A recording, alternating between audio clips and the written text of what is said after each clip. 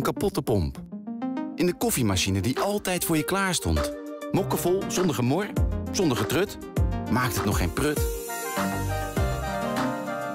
Waardeer het, repareer het.